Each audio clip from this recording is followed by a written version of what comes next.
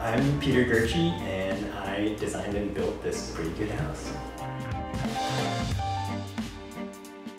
Pretty Good House is sort of actually come up with by a Yankee contractor who in a sort of tongue-in-cheek New England way was just saying, I want to build a really good house, but you know, typically modest. Um, and so what that means is all electric for one, uh, simple shape, so that, that makes it easier to build, cheaper to build, and also better at retaining heat.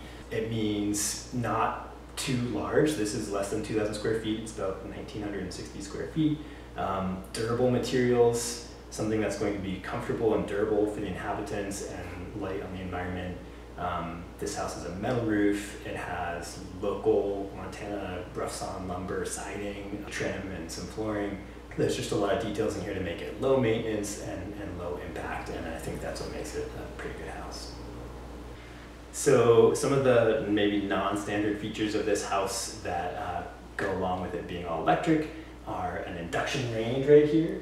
Um, and then the, the heating and cooling system is a ducted heat pump. I am excited about the induction stove in here from all the great cooks I know who have them. They, they love how responsive they are, how quick they are, and uh, with what we're learning about indoor air quality and the effects of gas stoves, I think this is the only thing that makes sense.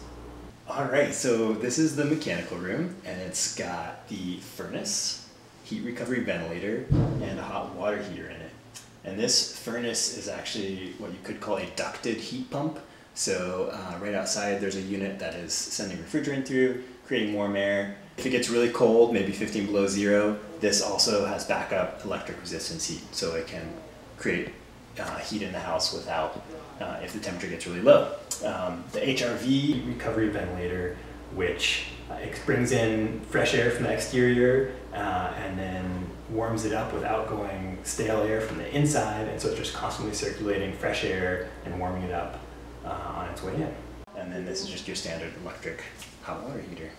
Having a really robust envelope, extra insulation, air tightness, um, that makes a lot of sense when you electrify because you are reducing the need for energy in the house. Um, and so that, that reduces the draw on the grid and it helps um, with your utility bills and it, it goes really well with electrification. I was not worried about building an all-electric house. There's great uh, subcontractor support for the heat pump, for instance. That's totally run-of-the-mill standard for uh, HVAC contractors. Um, and it's, it's actually easier because you don't have to run a gas line and get a plumber who's really expensive to run that throughout your house. It's safer, um, and yeah, it was a great house to build.